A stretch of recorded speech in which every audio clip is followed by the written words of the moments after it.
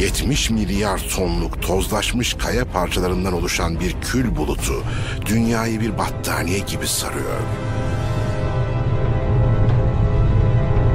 Kül bulutunun taneleri dünyaya düşerken hava direnci ısınmalarına neden oluyor. Milyarlarca tonluk tozun toplam sıcaklığı dünya yüzeyini adeta bir fırına çeviriyor. Dünya genelinde alev fırtınaları oluşuyor.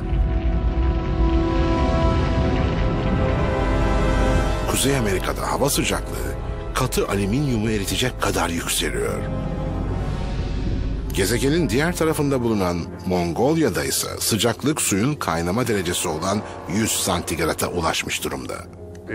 Hava o kadar ısındı ki bu sıcaklığa maruz kalan hayvanlar hayatta kalamadı. Dünyanın her yerinde hayvanlar yanarak ölüyorlar. Yıkımın son evresi aylarca sürdü. Atmosferdeki kalın toz kütlesi yeryüzüne ışığın ve ısının girmesini engelledi. Bu da sıcaklığın dibe vurmasını sağladı. Eğer dinozorlar yanarak ölmedilerse donarak öldüler veya yiyecekleri bir anda ortadan kayboldu. Aslında nesillerinin tükenmesinin asıl nedeni bu. Işık olmadan bitkiler öldü. Yiyecek bitkiler olmadığı için hayvanlar öldü.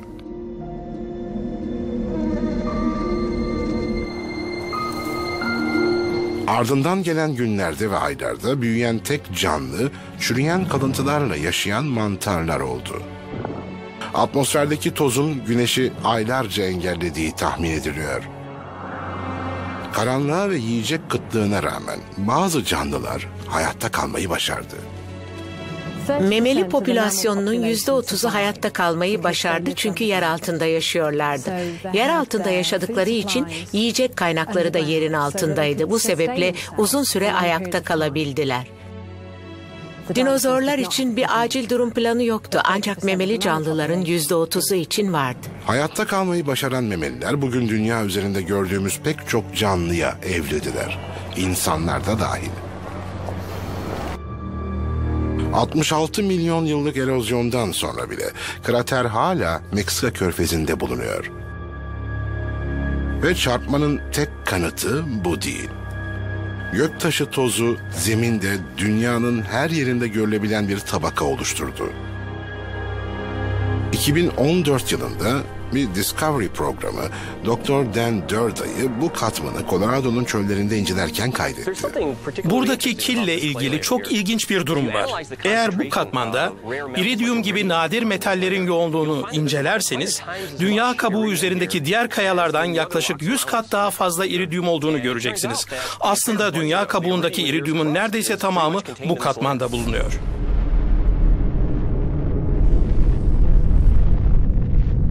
Bilim insanları bir küresel yıkım oluşturabilecek binlerce diğer gezegen katili göktaşının şu an dünyanın yörüngesinin yakınlarından geçtiğini tahmin ediyor. Sanırım eğer 20 yıl içinde dünyaya çarpacak bir gök taşının varlığını bilseydik, dürüst olmak gerekirse çok da bir şey yapamazdık. 1990 yılından beri Amerikan Uzay Savunma Programı bu gezegen katillerini gözetliyor. Bir dağ büyüklüğündeler. Hatta o kadar büyükler ki teleskoplar onları algılamakta hiç zorlanmıyor. Büyük olanların çoğunu biliyoruz. Yörüngeler hakkında bilgimiz var. Yakın zamanda hiçbirinin bize doğru gelmeyeceğinden eminiz. En büyük göktaşları hesaba katılmış olsa da asteroid günü bilim insanlarını hala endişelendiriyor. Aslında büyük yıkımlara sebep olacak pek çok küçük göktaşı da var. Bilgi eksikliğimizde futbol sahası büyüklüğünde olan ve 100 metre uzunluğundaki göktaşları hakkındakiler. 4200 ila 13 bin milyon ton arası bir ağırlığa ve saatte yaklaşık 70 bin kilometre çarpma hızına sahip bir göktaşı dünyaya çarparsa Fransa gibi bir ülkeyi yerle bir edebilir. Bu cisimlerden bildiklerimizin sayısının yaklaşık %10 civarında olduğunu görmek biraz korkutucu. Bu sebeple bir göktaşının dünyaya doğru gelip gelmediğini kesin olarak Bu bilemiyoruz. göktaşlarından birinin önümüzdeki 50 yıl içinde dünyaya çarpma olasılığı 50'de bir. Şimdiye kadar insanların şansı yaver gitti ancak asteroid gününün bilim insanları ve astronotları işlerini şansa bırakmak istemiyor. Artık tarihimizde ilk defa bir göktaşını tespit edip bunun hakkında bir şeyler yapabileceğimiz teknolojik seviyeye eriştik. Öngörebilir ve kendimizi buna karşı koruyabiliriz. Bu bir tsunami veya deprem için asla yapamayacağımız bir şey. Bilim insanları işler çok geç olmadan yeterli bir küresel savunma sistemi kurulması gerektiğine inanıyor. Bir katil göktaşı şu an bize doğru geliyor olabilir. Hatta bir tane bulmuş olabilirler bile. Ve ironik bir şekilde tahmin edilen çarpma tarihi de 13. Cuma.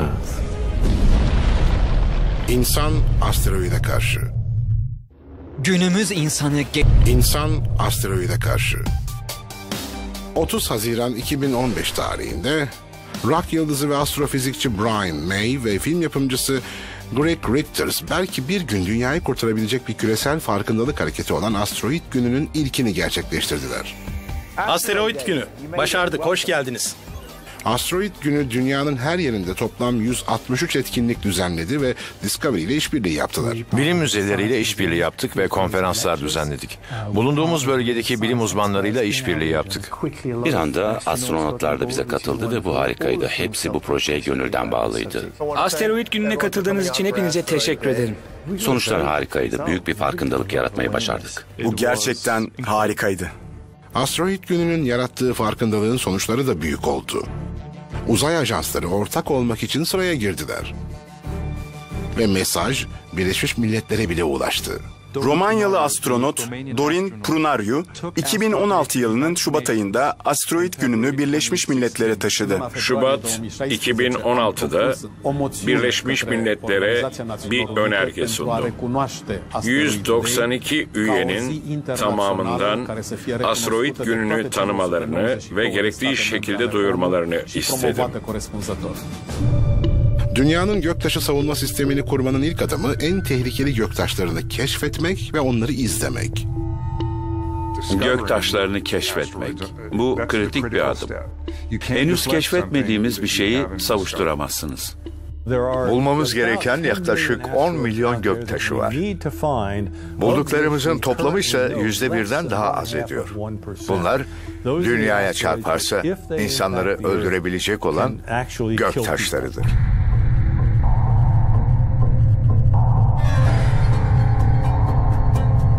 ...2004 yılında keşfedilen en tehlikeli göktaşlarından biri görüş alanımıza girdi. Hawaii Üniversitesi'nden 3 gökbilimci, Roy A. Tucker, David J. Tolan ve Fabrizio Binardi, Tucson, Arizona'nın dışında bulunan Kidd Peak'in 4 metrelik teleskobu ile göktaşı avındaydılar. Gökyüzünün fotoğraflarını çektiler ve görüntülerdeki beyaz çizgileri incelediler. Bu hızlı hareket eden bir göktaşının işaretiydi. 3 adet görüntü topluyoruz ve 3 karelik bir film yapıyoruz. Eğer fotoğraflar arası geçiş yaparken tüm yıldızlar aşağı yukarı aynı yerde duruyorlarsa tamam. Ama hareket eden bir şey görürseniz pıt pıt pıt pıt pıt pıt hareket eden bir şey varsa işte dersiniz burada bir göktaşı var. Ama eğer çizgi çizgi giden bir şey görürseniz bu daha da heyecanlı çünkü çok hızlı hareket ettiği anlamına geliyor. Hareket eden bir cisim bulduk. Ve birkaç gece önce gördüğümüz cisimle aynı olabileceğini düşündük. Ve Dave'e işte adamımız bu dedim. Aradığımız şey bu. Ve pozisyonu ölçtükten sonra Dave bir takım yörüngesel hesaplamalar yaptı ve bunun aynı cisim olmayacağını fark etti. O esnada Tucker ve Tolan'ın göktaşının gittiği yer hakkında bir fikri yoktu. Bir göksel objenin yörüngesini hesaplayabilmeniz için en az iki gözlem yapmanız gerekiyor. Bu oldukça önemli çünkü bir cismi birkaç kere gözlemlediğiniz zaman gidişatı inceleyebiliyorsunuz ve böylece değişiklikleri daha iyi anlayabiliyorsunuz.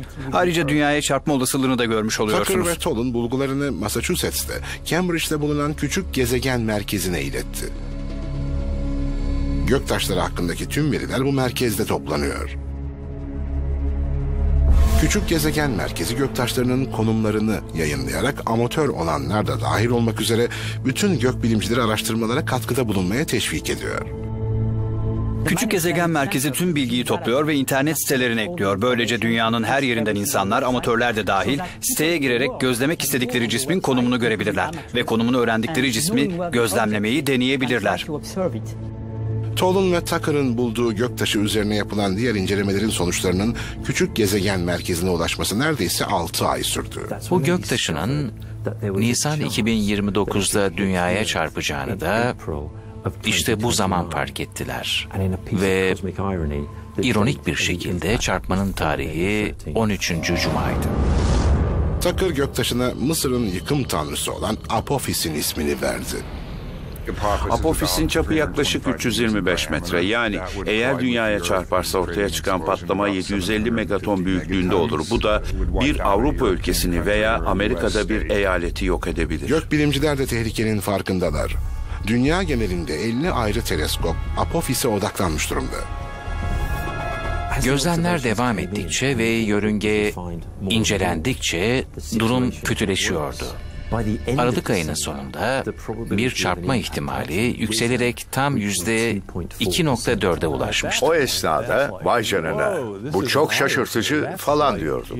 Yani hep yek gelmesi gibi bir şeydi ve gerçekten endişelenmeye başlıyorduk. Bilim insanları ne yapmaları gerektiğinden emin değildi. Bu olduğu zaman kendimize pekala şimdi kimi arıyoruz diye sormaya başladık. Çünkü masanızda oturuyorsunuz, bir cisim keşfetmişsiniz, büyük bir çarpma ihtimali var. Kimi arayacaksınız? Fransa'nın başkanını mı? Yoksa Amerika'daki George Bush'u mu? Arayabileceğimiz kimse yoktu. Yani politik olarak veya karar verecek bir grup olarak. Büyük bir şeyi bilen ancak anlatacak kimsesi olmayan bilim insanlarıydık. Dünyadaki optik teleskoplar Apofis'in yörüngesini saptayıp çarpıp çarpmayacağını kesinleştirmekte zorlandılar. Ancak yardım hiç beklenmedik bir kaynaktan geldi. 2005 Ocak ayının sonunda şans eseri Apophis gökyüzünün doğru yerindeydi ve dünyanın en büyük radyo teleskopu olan Arecibo göktaşının yönünü işaret ediyordu. Porto Rico'da çanağı andıran bir vadiye kurulan Arecibo'nun 305 metrelik devasa çanağı üzerinden geçen cisimleri göstermekle sınırlı.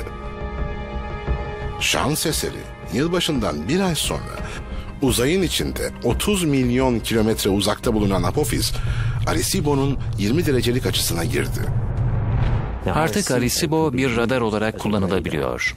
Göktaşlarına bir sinyal gönderip sinyali tekrar yakalama özelliğine sahip ve bu göktaşına bakıp arkasındaki yıldızlardan nerede olduğunu anlamaya çalışmaktan çok daha etkili bir yöntem. Arecibo kullanıldığında ise Apophis'in dünyaya bazı haberleşme uydularından bile daha yakın olabileceği fark edildi.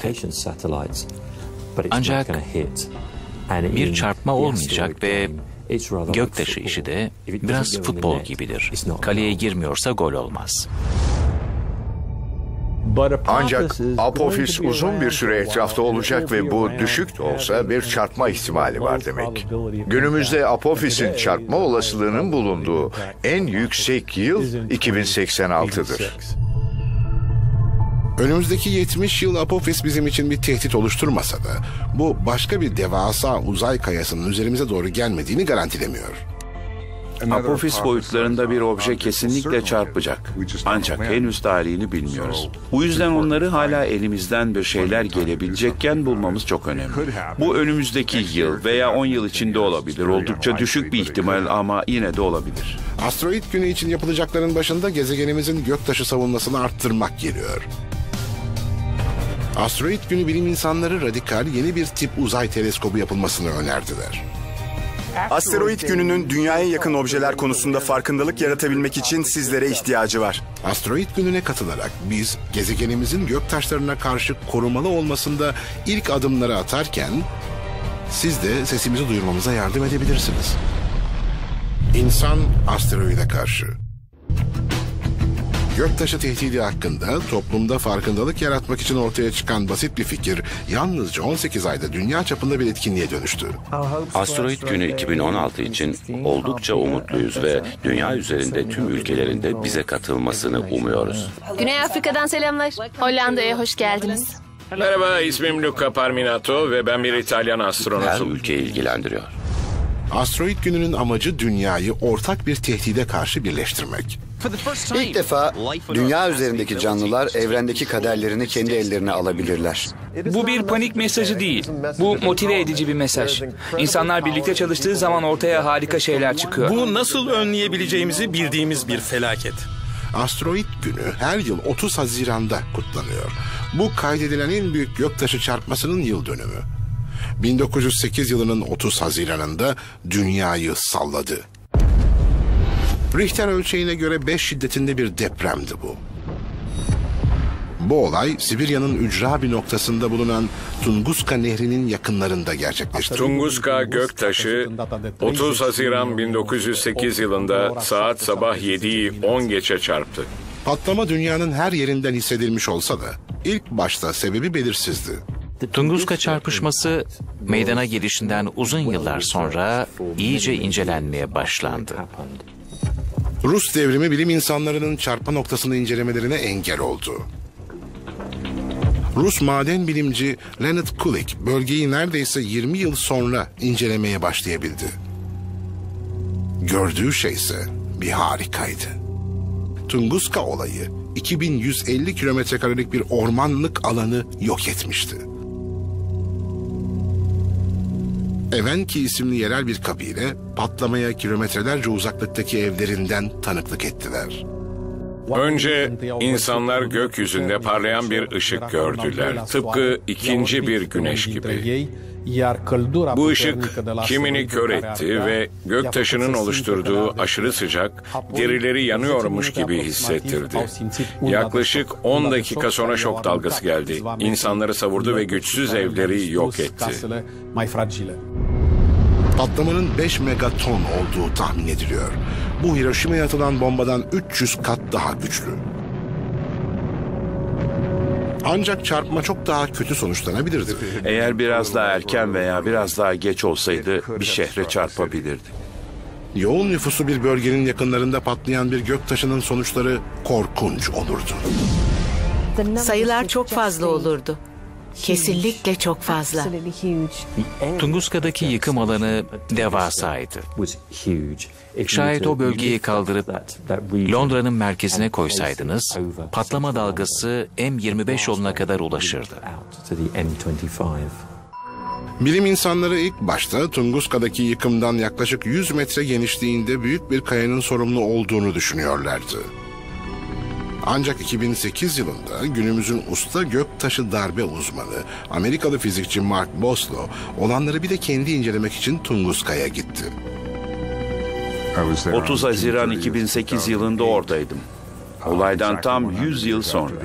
1908 yılında devrilen bütün ağaçların yerlerine yenileri dikilmişti. Ve bütün orman aynı boyda ağaçlarla dolmuştu. Boslow patlamadan zarar görmüş eski ağaçlardan örnekler topladı ve Rus bilim insanlarının ayak izlerinden giderek çarpmanın matematiksel modelini yeniledi. Böyle bir şeye verebileceğimiz en bilindik örnek bir nükleer patlamadır. Bu modelle Boslo göktaşının boyutu hakkında bir fikir edinebildi. Bulduğu şey şaşırtıcıydı. Tunguska'yı yerde bir eden kaya, nadir ve dev bir şey değildi. Yalnızca 40 metre genişliğinde bir göktaşıydı ve 2013 yılında Çelyabinsk'e çarpan göktaşından sadece iki kat daha büyüktü. Bu boyutlarda bir göktaşının önümüzdeki 50 yıl içinde dünyaya çarpma olasılığı yalnızca onda bir. Gökbilimciler şu an yaklaşık 11 bin göktaşının konumlarını biliyorlar. Ancak yüz binlerce daha fazlası fark edilmeden dünyanın yakınından geçiyor. Herhangi biri şu an bize doğru geliyor olabilir. Bize çarpma ihtimali olan tüm göktaşlarını bulmak için yaklaşık 100 kat daha dikkatli olmamız gerektiği sonucuna vardık. Ve bu önemli bir durum. Bu gökyüzüne bakıp durumumuzu değerlendirmemiz açısından alınması gereken önemli bir Göktaşı keşif oranını kayda değer bir şekilde arttırmanın tek yolu bir kızılötesi uzay teleskobu geliştirmektir. ISS'te uçan emekli astronot Ed Lu ve Apollo 9'da görev yapmış Dusty Schweikart uzay tabanlı göktaşlarının tespiti için uğraşıyorlar. Birlikte B612'yi kurdular. Dünyadan tehlikeli göktaşlarını bulmaya çalışmak oldukça zor. Çok küçük ve karanlıklar. Ayrıca yer teleskopları onları güneşin kör edici parlaklığından ayıramıyor. Tamamen kör bir noktamız var. O da dünyanın güneş alan tarafı. Çelyabinski göktaşını bu yüzden göremedik. Çünkü güneşin olduğu taraftan geliyordu. B612'nin çözümü ise dünya ve güneş arasında bir teleskop yerleştirip teleskopun güneşi arkasına alarak inceleme yapması. Bir uzay teleskobu ile çok daha fazla yönü görebilirsiniz. Uğraşmanız gereken bir aydınlık gökyüzü olmaz. Göktaşları karanlık olsalar da güneş ısısını emiyorlar ve kızıl ötesi olarak parlıyorlar. Süper hassas kızıl ötesi alıcıları olan bir teleskop da bu parıltıyı yakalayabiliyor. Bir kızıl ötesi teleskopla göktaşları görünen ışığa kıyasla çok daha parlaklar. Ve uzaydan termal kızıl ötesini görebiliyorsunuz. Schweikart ve Liu için en büyük zorluksa teleskobu uzaya yollamak adına devletleri ve bağışçıları yarım milyar dolar bağış yapmaya ikna etmek.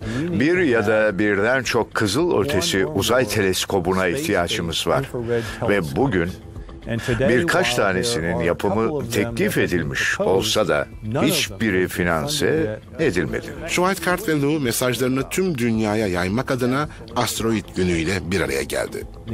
Asteroid gününün önemi böyle bir teleskobu yapabilecek insanlara halkın bunun yapılmasını istediğini gösterebilmek.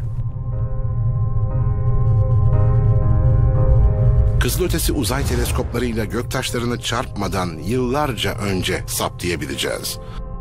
Ve dünyanın uzay ajansları bu göktaşlarını durdurmaya çalışacaklar. Peki ya başaramazlarsa? Bize çarpması kaçınılmaz olan bir cisim görebiliriz. Böyle bir durumda gerçekten kafamızı çalıştırmamız gerekiyor. Asteroid günü üyeleri eğer doğru önlemler alınırsa bir çarpmanın dünyanın sonu olmayacağına inanıyorlar. Eğer dünyaya çarpacak bir gök taşı bulunursa ve diyelim ki bunu çarpmasından 20 yıl önce bulsak bu çok da bir uyarı olmaz. O saatten sonra hazırlık yapmak gerekir. 65 milyon yıl önce dünyaya çarpan devasa göktaşından kurtulan memeliler gibi insanlar da yerin altına inebilirler. Amerika'nın ve diğer ülkelerin soğuk savaştan korunmak için yapmış olduğu yeraltı barınakları ve ağları mevcut. Hali hazırda bir yeraltı barınak ağları ve yeraltı sistemleri var.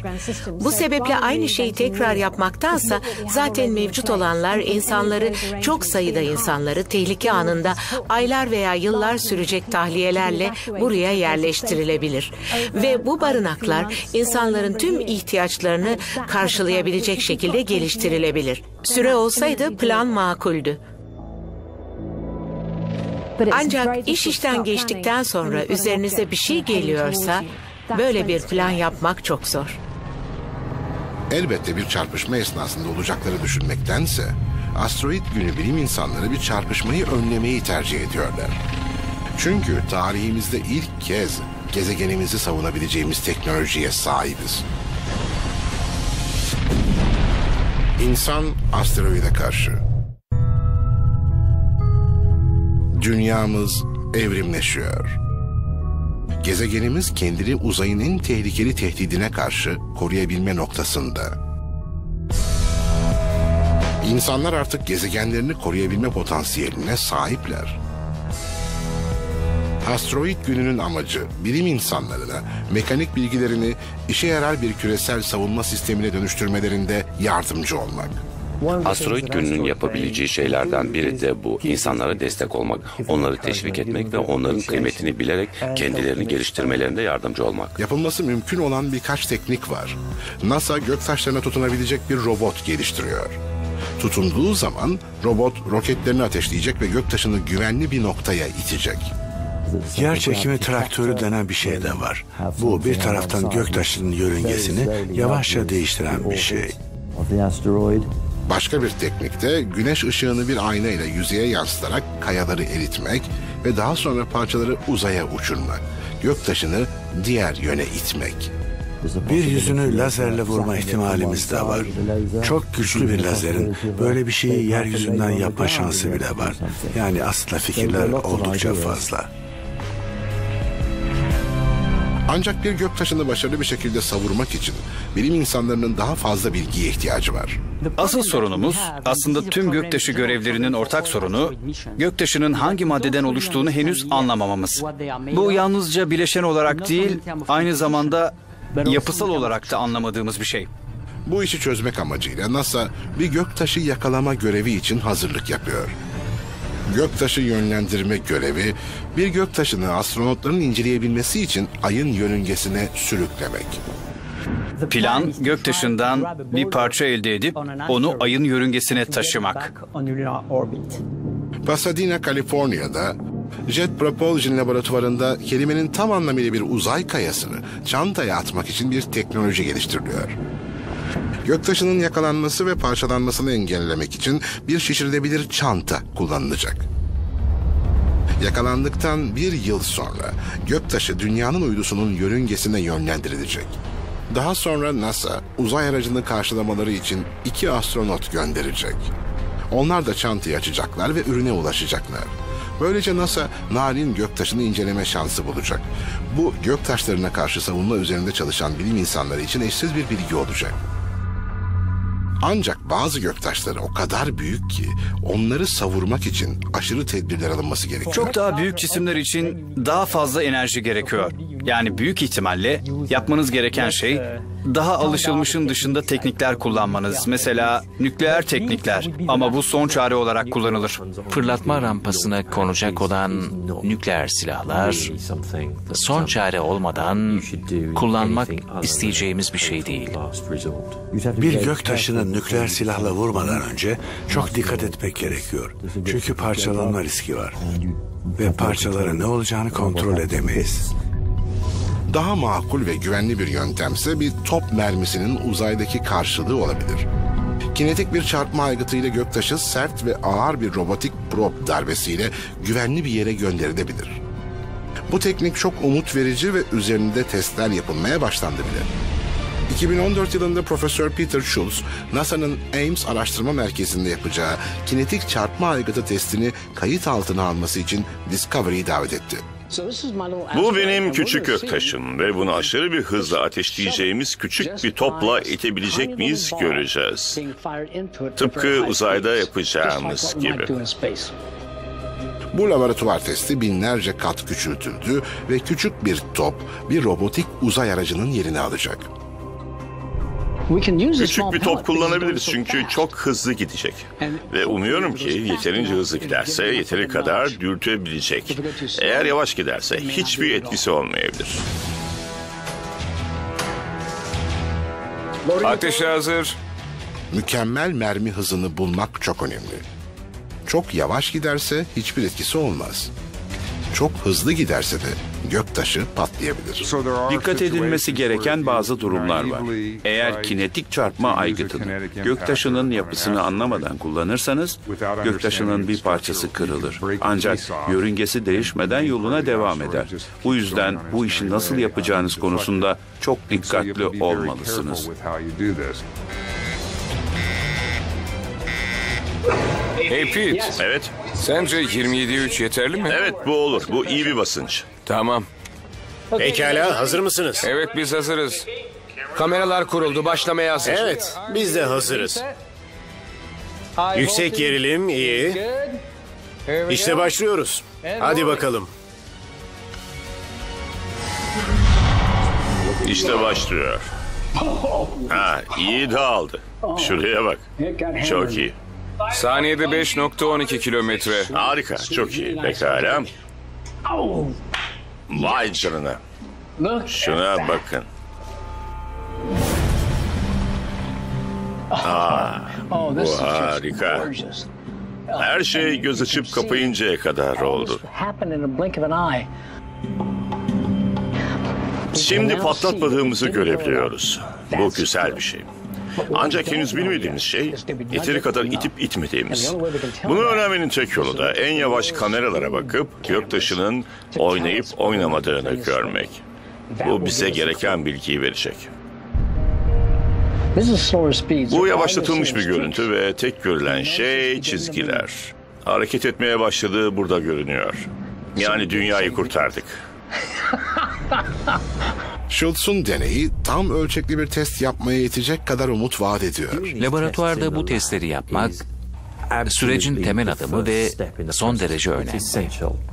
Bu evreye geçtiğimize göre artık dışarı çıkmalıyız ve bu testi gerçekten uzayda yapmalıyız. Schultz'un laboratuvar deneyini uzaya taşımak hiç de kolay bir iş değil. Yapılması gereken şey saatte 90 bin kilometre hızla giden bir göktaşını uzayın milyonlarca kilometre derinliğinde araba boyutlarında bir gülleyle vurmak. Avrupa Uzay Ajansı'nın araştırma merkezi ESTEC'in görev menajeri Ian Carnelli bu sorunla doğrudan ilgileniyor. Elimizde yalnızca küçük çaplı laboratuvar testleri var ancak uzayda ne olur bilemiyorum.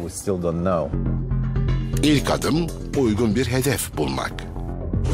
Amacımız göktaşını yörüngesinden saptırmak değil. Çünkü böyle bir durumda yanlış bir yörüngeye sokma şansımız var ve bunu istemiyoruz. Dünya yakınlarındaki göktaşlarına çok dikkatli yaklaşılıyor. Bilim insanlarının savurdukları zaman dünyaya çarpacak bir yörüngeye girmeyecek bir göktaşı bulmaları gerekiyor. Şansımıza bu iş için mükemmel bir doğal laboratuvar var. Didymos isimli bir göktaşı ve Didymos'un çevresinde küçük bir uydusu bulunuyor. Buna Didymun adını verdiler. Plan Didymunu vurmak ve bunu yaparken büyük göktaşlarına dokunmak. Yapılacak şey göktaşının uydusunu hareket ettirmek ancak bunu yaparken aynı yörüngedeki büyük göktaşını oynatmamak. Avrupa Uzay Ajansı NASA ile birleşerek dünyayı bu gerçekten kurtarmak için bir prova yapmayı planlıyor. Bu büyük bir görev. Bu ikili bir göktaşına ulaşılması gereken ilk görev. Avrupa Uzay Ajansı ve NASA iki adet probe göndermeyi düşünüyor. Bunlardan birincisi 2020 yılının sonlarına doğru uzaya gönderilecek. Avrupa Uzay Ajansı'nın AIM adlı aracı bir robotik uzay laboratuvarı. Gelişmiş fotoğraflama ekipmanlarıyla ve sensörlerle dolu. Araç kendini Didymus ve Didymun'un etrafında uçuracak, nano uydularını bırakacak ve önemli ölçümler edinecek. Daha sonra NASA'nın DART probu yani bir top güllesi rolündeki uzay aracı saatte 22 bin kilometre hızla Didymun'a çarpacak. Avrupa Uzay Ajansı'nın AIM probu da Didymun'un sapmasını ölçecek ve testin işe yarayıp yaramadığı görülecek. AIM orada Dart'ın göktaşına çarpmasını izlerken bizler de eğer gerçek bir tehdit olursa bununla nasıl başa çıkabileceğimiz hakkında ihtiyacımız olan her şeyi öğreneceğiz. Görevin 2020 yılında gerçekleşeceğine karar verilmiş olsa da gereken maddi destek henüz sağlanmış değil. Kendimize şunu sormalıyız. Bilim insanlarının çok önemli olduğunu düşündüğü bir şeyi politikacılar neden maddi olarak desteklemiyor? Göktaşı tehdidine karşı bir toplumsal bilinç yaratarak asteroid günü dünya hükümetlerini küresel savunmaya maddi destek sağlamak adına teşvik ediyor. Bildiğimiz kadarıyla eski dinozorların bir uzay programı yoktu ve bu onlara pahalıya patladı. Asteroid günü çok önemli. Çünkü bu bize dünyada yalnızca bir yolcu değil, aynı zamanda mürettebatın bir parçası olduğumuzu hatırlatıyor. Asteroid günü harika bir şey ve bunun sebeplerinden biri katılan insanların çok farklı topluluklardan gelmeleri. Bize katılan bilim insanlarının, astronotların ve ünlülerin hakkını ödeyemeyiz. Aslında herkesin bize katılmasına ihtiyacımız var bizim. Herkesin. Asteroid günü 2016'nın her zamankinden daha fazla insana ulaşacağı düşünülüyor. Discovery ekibi bilim insanları değil ancak dünya çapında milyarlarca izleyicileri var ve bir platform görevi görebilir. Bu hikayeyi hayata geçirebiliriz ve izleyicilerimizi bilgilendirip aramıza katılmalarını isteyebiliriz. Dünya popülasyonunu bir araya getirebiliriz ve politikacılarımızı teşvik etmek için dünya çapında bir bilinç oluşturabiliriz. Yalnızca bir halk desteği olursa devletler bu uzun vadeli programa maddi yatırım yapmaya gönüllü olur. Sizin bu göktaşı tehdidinin farkında olmanız ve hükümetlerin sorumluluklarını yerine getirmesini sağlamak için katkıda bulunmanız çok Bunu önemli. başarabiliriz. Bu tehdidi fark edip yüksek bir ihtimalle atlatabiliriz.